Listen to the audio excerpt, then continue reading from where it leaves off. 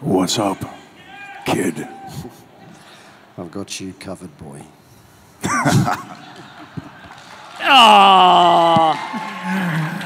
You know, I got to tell you something. Uh, before I got to come over here and work on uh, Arrow, uh, I worked with Matt Nable on a really amazing uh, biker series, a little bit like Sons of Anarchy, but it was the Australian version. It was uh, called Bikie Wars. And uh, Matt's performance was staggering. I, I had a small part. I played this biker called Sunshine. I was his muscle. He brought me into his gang as muscle. But this guy's performance as this leader of this bike gang in Australia was like, it left Sons of Anarchy for dead. Thank you, mate. You're too kind, buddy. We never got to work on Arrow together, but I just love this guy's work. Oh, thank you, mate. And Maybe likewise, I'd, uh, um, when Manu stepped on set to that thing, which was 2011, um, I wasn't quite sure. He was wearing a pair of football shorts and a singlet. And uh, I remember thinking, who is this? Like, is this is this some guy who's come from a bike gang and he's coming down to watch? And and when I realised it was Manu, it was uh, it was wonderful. We had a great time together on that. It was only a, a short-lived sort of thing for both of us, but it was um, it was wonderful. And uh, unfortunately, we haven't got to work on uh, Arrow yet. So we'll, we'll see what happens. Yeah, mate, we'll see what happens there. All right, so uh, here's what we're going to do. First of all, since we sort of brought them out separately, how about a big round of applause for these two guys, Matt Nable, Manu Bennett. Two of the main reasons why Arrow is, is such a huge hit. So obviously, as you guys know, this is all about you and your questions. We've got a line. Uh, where's the line cooking? Uh, just yep, we're going to get you guys. Uh, Pillar 34. I was uh, I was Can, told I, to say. can I just say something Yep. about, uh, I, I don't know whether they're here. Are my, are my friends from Mikasuki here? Are my Mikasuki friends here? M- Maybe we here? scared them off with the intro. Sta- stand up if you are here. Oh, okay. I don't know where they are, but but anyway, there's some there's some ladies walking around the convention center today. The part of the Mikasuki tribe, and they were Indian. They were an Indian tribe that came further from inland. And when the howitzer gun came and started slaughtering the Indians in huge numbers, their tribe ran and they ran down into the Everglades down here, and they lived there for like uh, I don't know the past 200 years. And it wasn't until Miami got built up that they even discovered that this tribe was out there in the Everglades, you know, protecting themselves in the swampland. And these guys are survivors and, and very, very special local people for you people. You know, they're, they're real tangata whenua, we call them in Maori, which is the people of the land. Anyway, they gifted me with this, which is their colors. So wherever you are, my friends, thank you. Hey.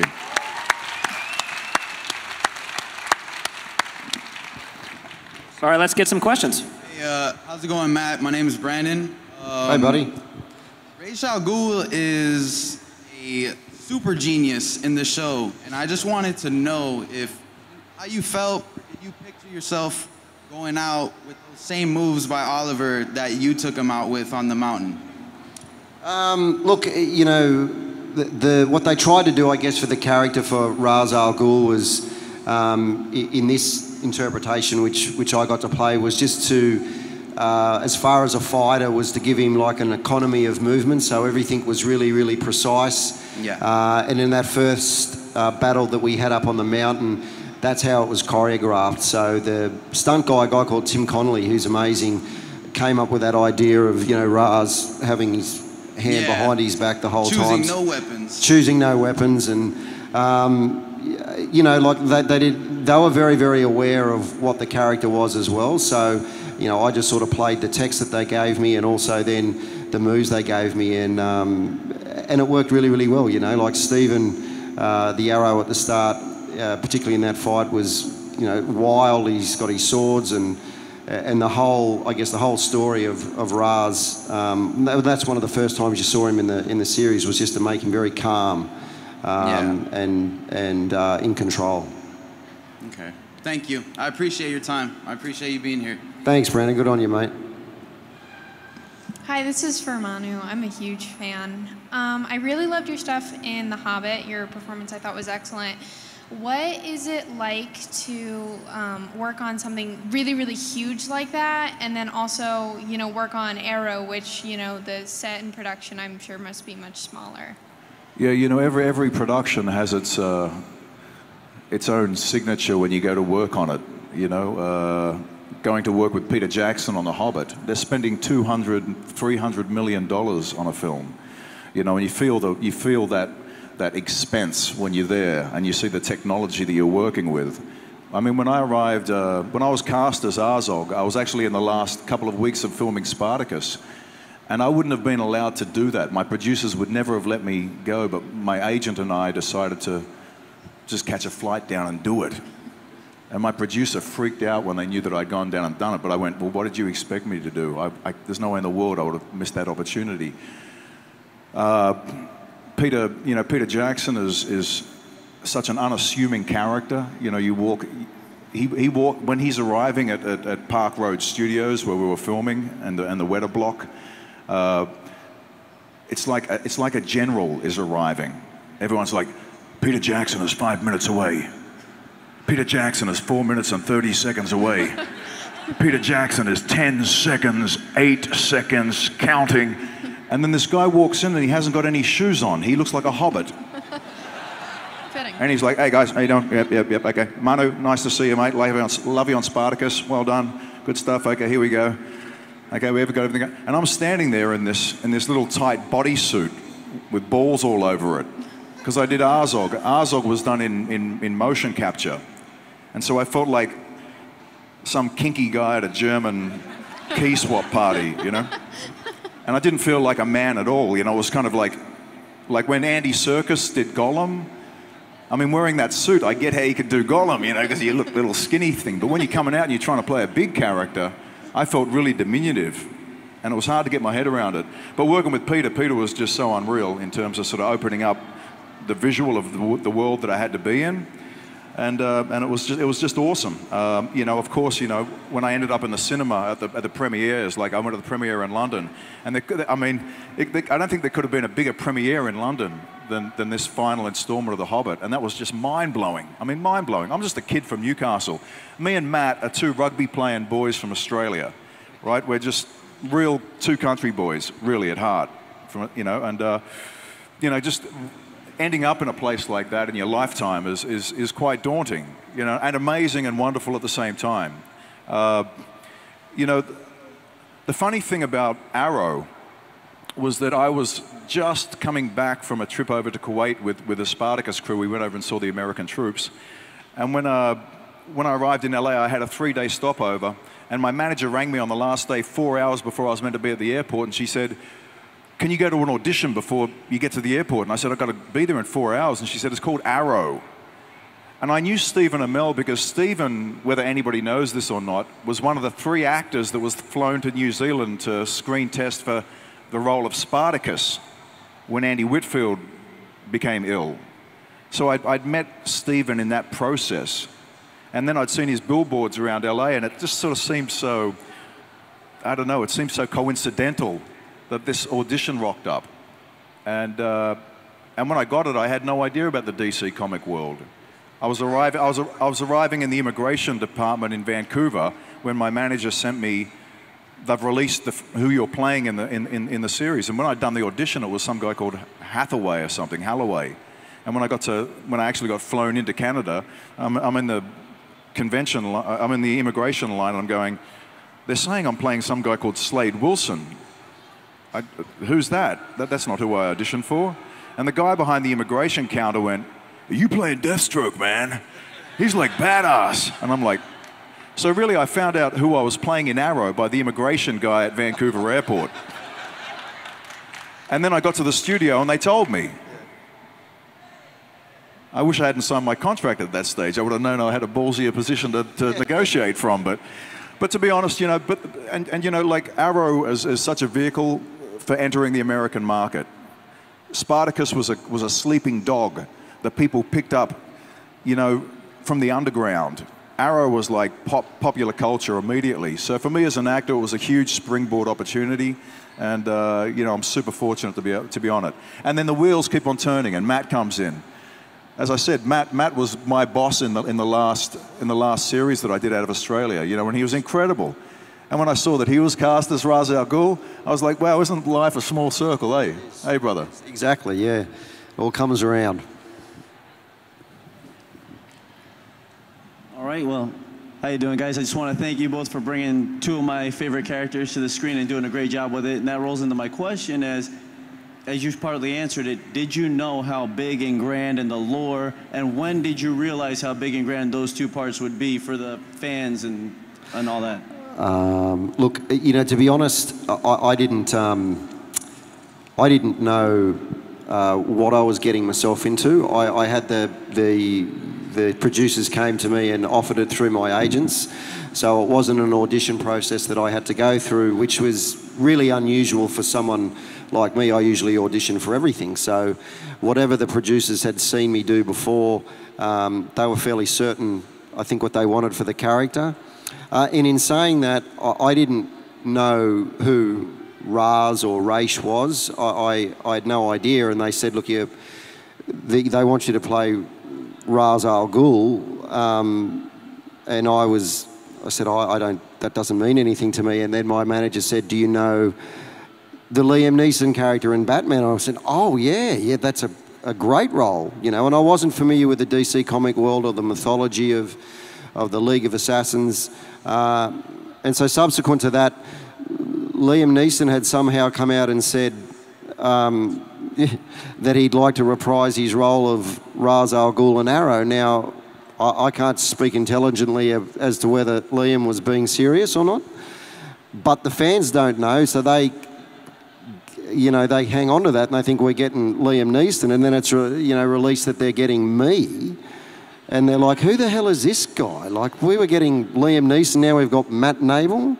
So, uh, coupled with the fact that it was a, a very big role um, within the DC comic world, which I then read extensively about and, and watched other portrayals and interpretations, with the fact that Liam had come out and said that, so now that you had me, I felt um, from going from, from a position of not knowing to a position of immense trepidation and fear that, you know, and pressure, hoping that I didn't bugger it up. I didn't want to do what someone else had done before, and I certainly wanted to please the fans because it became acutely aware to me very, very early on after signing on that how important he was in this show and how important he was in this realm. So for many, the first, you know, couple of weeks on set were a little bit nerve-wracking for me because I didn't know how people were going to respond uh, to the character.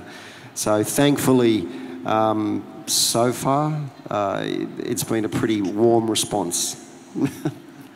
awesome. Thank you guys so much. And how about you? Oh, you know, I mean, I mean to play.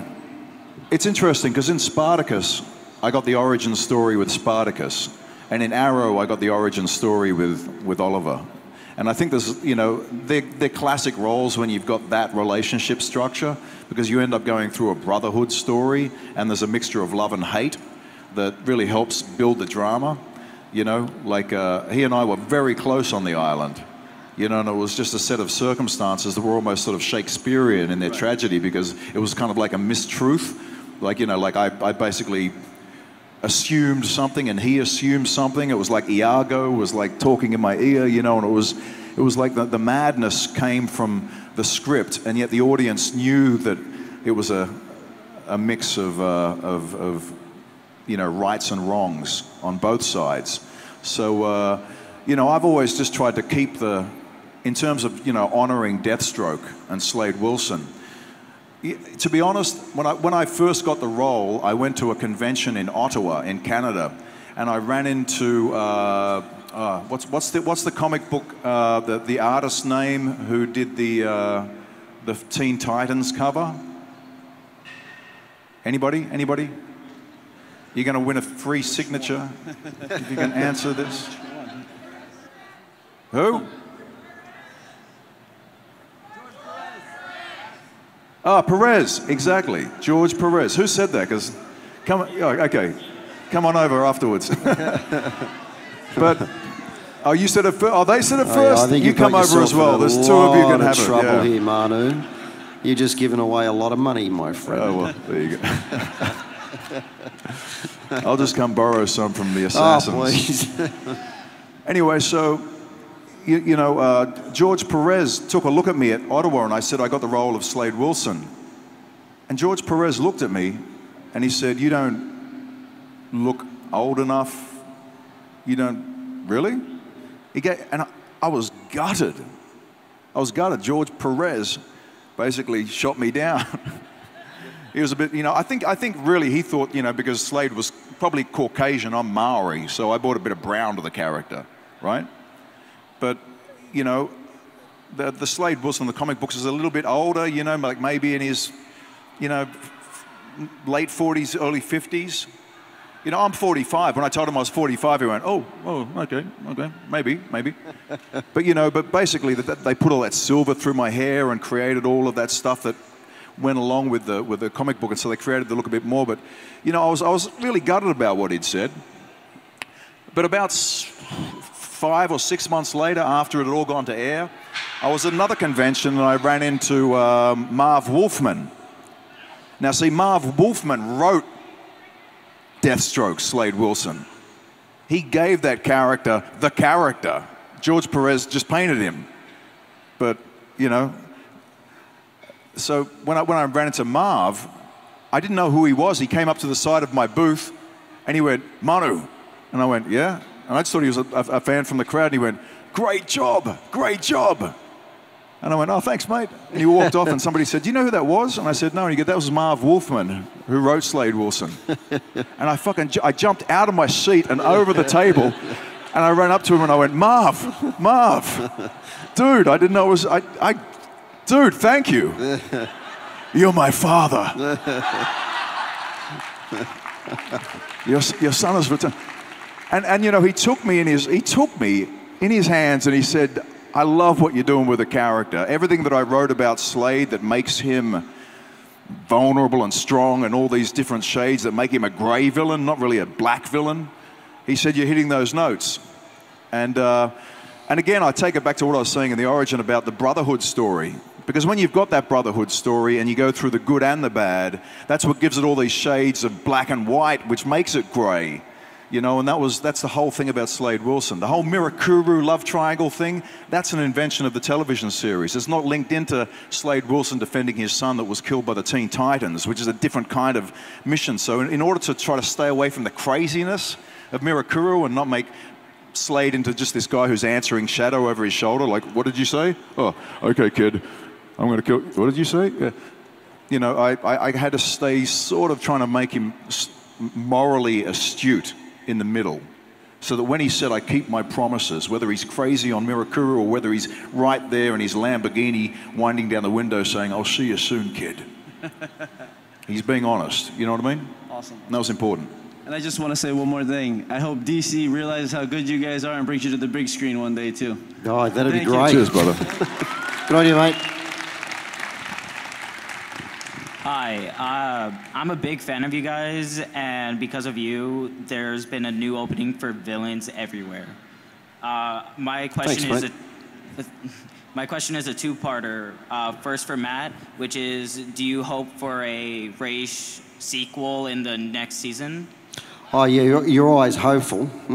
um, look, at, look, the way things ended, uh, they didn't end well for for Raish. Um, he got his comeuppance in the end. But look, you know, within the the DC comic world uh, realm, you know, they've always and and CW have always found a way to bring characters back. So.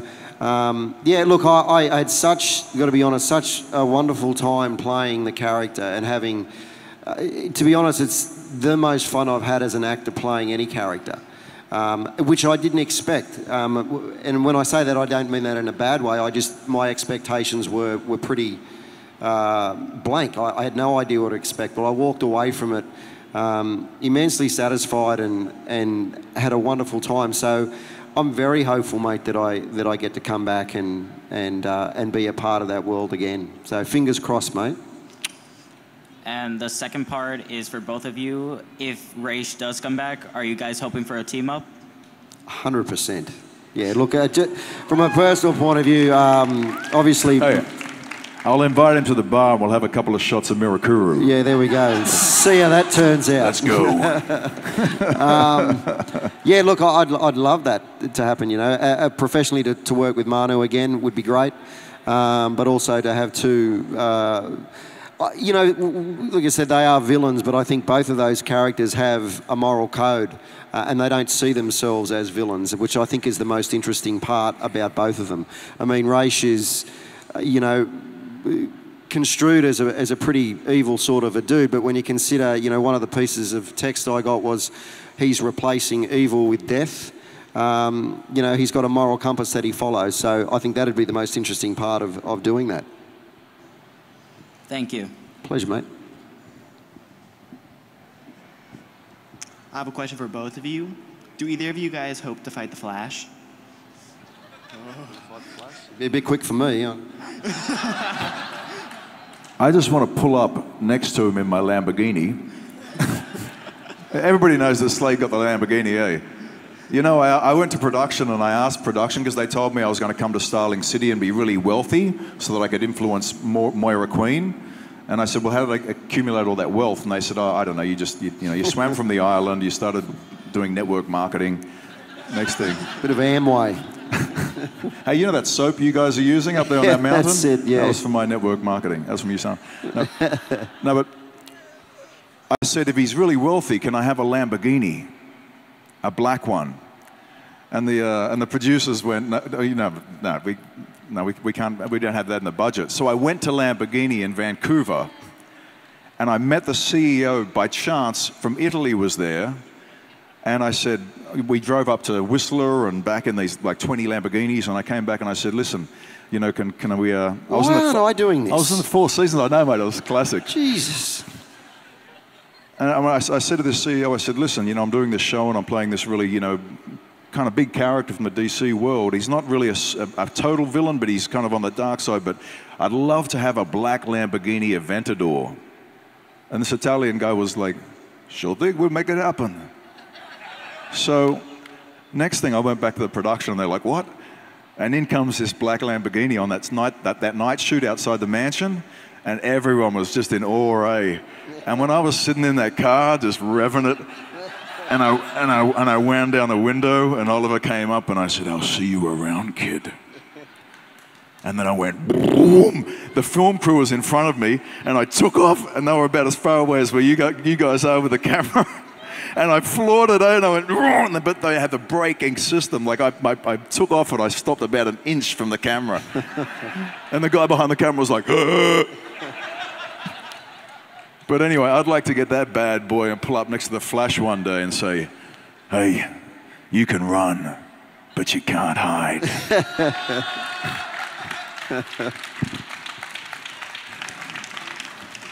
Thank you. Pleasure. Hi. Um, so, Mr. Armanu, after seeing uh, Deathstroke in season three on Lian Yu, do you think we can expect to see him again in either Arrow or Flash? Listen, it's, it's, it's a very, very uh, simple thing.